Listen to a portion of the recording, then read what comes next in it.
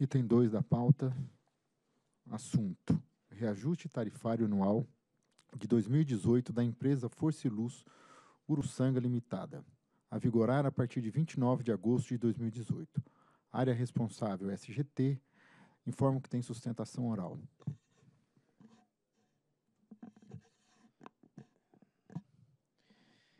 Em 2017, as tarifas da Uruçanga, empresa Força e Luz Uruçanga Limitada, aqui denominada Uruçanga, foram, em média, reajustadas em 11,14%, conforme consta da Resolução Homologatória 2294 de 2017. Para o reajuste tarifário de 2018, a SGT, Superintendência de Gestão Tarifária, por meio da nota técnica 193 de 14 de agosto de 2018, consolidou o cálculo do reajuste tarifário da Uruçanga. Em 17 de agosto de 2018, a concessionária, por meio do ofício 130 de 2018, solicitou que fossem recalculados os reajustes de 2016 e 2017, apurando-se os valores montantes de energia do CUSD, contrato de uso do sistema de distribuição, não concedidos na época, de forma a considerar como item financeiro neste processo tarifário. Além disso, a concessionária solicitou que o componente financeiro de ajuste do contrato de uso do sistema de distribuição fosse diferido em duas parcelas e se descontasse os efeitos tributários da receita excedente do CUSD. Em 22 de agosto de 2018, a SGT encaminhou via correspondência eletrônica ao Conselho de Consumidores da Uruçanga as planilhas finais de cálculo do reajuste tarifário anual de 2018, conforme dispõe a Resolução Normativa 652 de 2015 que aprovou a revisão dos submódulos 3.1, 8.2 e 10.2 do PRORET. Em 16 de julho de 2018, o processo foi a mim distribuído, é o relatório. Convido para sustentação oral a representante da empresa, senhora Magali Bonetti Mazuco. Bom dia, bom dia, diretores, demais membros, doutor Ricardo, doutor Marcelo, demais presentes, demais funcionários da ANEL. Em função desse equívoco na CUSD havido no reajuste passado, a ANEL atribuiu ao EFLU um componente financeiro negativo para a devolução de um valor de aproximadamente um milhão e meio de reais. Mesmo com a compensação do componente positivo de aproximadamente 450 mil reais derivado dessa mesma operação, o impacto negativo ainda é de 950 mil reais, o que representa o expressivo valor de 14,30% da parcela B da distribuidora a parcela B da distribuidora é extremamente regrada e o seu orçamento muito restrito, principalmente neste momento em que ainda amarga os efeitos da crise. A preocupação dos gestores da EFLU é que esse impacto negativo prejudique enormemente o capital de giro da distribuidora, já que sua operação e manutenção é unicamente remunerada pela parcela B. Nesse sentido é que vem o primeiro pleito da EFLU, para que a devolução do valor de 950 mil reais seja diferida em duas parcelas, uma no IRT de 2018, outra no IRT de 2019, sabendo que essa condição impacta um pouquinho mais na tarifa do consumidor, mas entende-se que o cerceamento financeiro à distribuidora é tanto ou mais significativo. Ainda, em relação a essa condição de revisão do CUSD, a EFLU igualmente procedeu à revisão do CUJ dos anos anteriores e apurou-se que no IRT de 2016, que engloba aí o período de agosto de 2015 a julho de 2016, ocorreu a mesma situação que motivou a ANEL a atribuir esse ajuste no IRT de 2018. Entretanto, naquele ano, no IRT de 2016, o resultado encontrado é positivo em favor da distribuidora em aproximadamente 206 mil reais. Nessa esteira que vem o segundo pleito da EFLU, para que haja um ajuste financeiro para recuperar as perdas da distribuidora ocorridas no IRT de 2016 em função da não cobertura para o pagamento do custo de Celesc, no período agosto de 2015 a agosto de 2016. Contudo, manifesta-se a distribuidora que, havendo o deferimento do primeiro pleito em duas parcelas, seja essa diferença positiva do IRT de 2016 lançada no IRT de 2019. Por fim, a EFLU tem conhecimento e é muito sensível ao expressivo trabalho que demanda um processo de reajuste tarifário. Mas seria importante às distribuidoras que a agência concedesse um tempo maior para que se analisasse os números, principalmente como é o caso da EFLU, em que as tarifas das suas supridoras celestes são homologadas apenas uma semana antes. Muito obrigada pela palavra e, em tempo, parabéns aos novos membros, principalmente ao doutor André, tenha sucesso nos enfrentamentos que vai encontrar no caminho. Obrigada. A Procuradoria já se manifestou.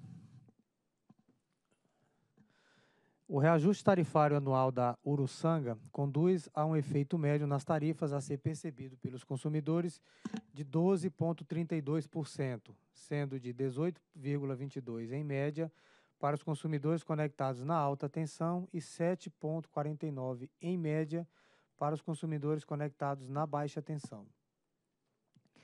Destaco que o efeito médio para o grupo A é maior devido ao impacto da variação da conta de desenvolvimento energético, CDE, na tarifa de uso do sistema de distribuição, que é predominantemente no mercado de alta tensão da distribuidora. A tabela 2 apresenta os itens de custo que conduziram ao efeito médio.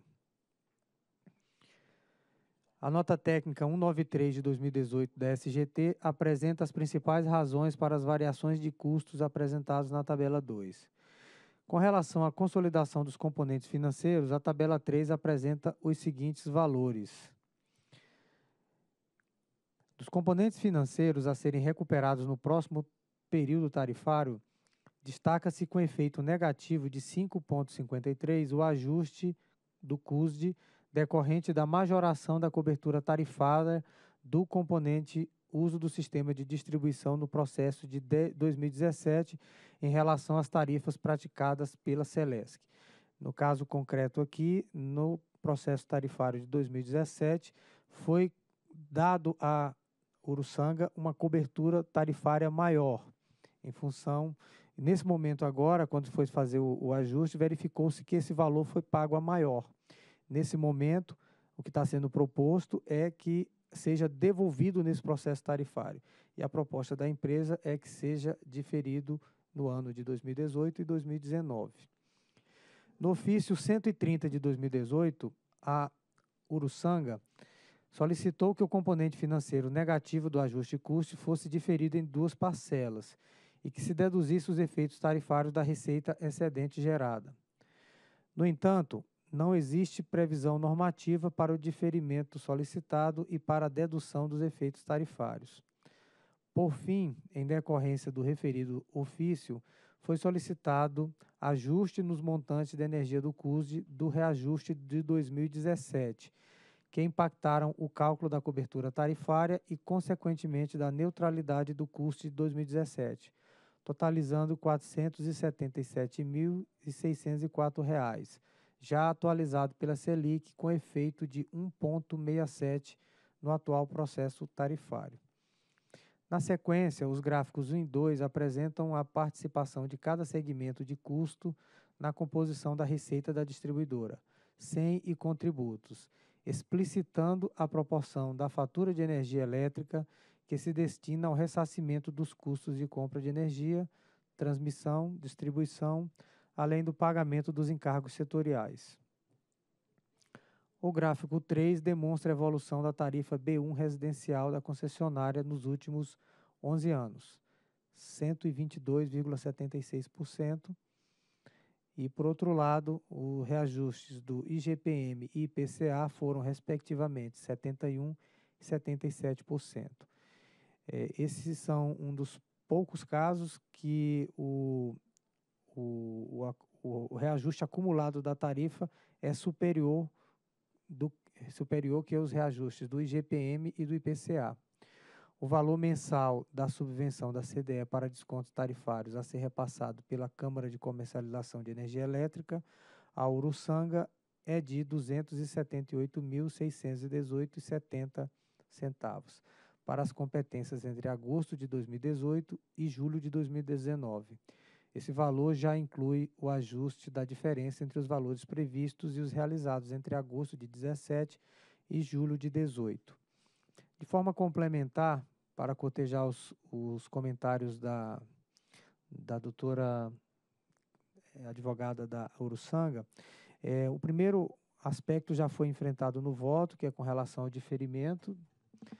E nós estamos encaminhando aqui como não sendo possível o acolhimento. O outro, o outro pleito, que seria considerar os efeitos do CUSD do reajuste de 2017, entendemos que essa matéria ela já foi avaliada preteritamente e entendemos como não adequado avaliar novamente, uma vez que a matéria já foi julgada.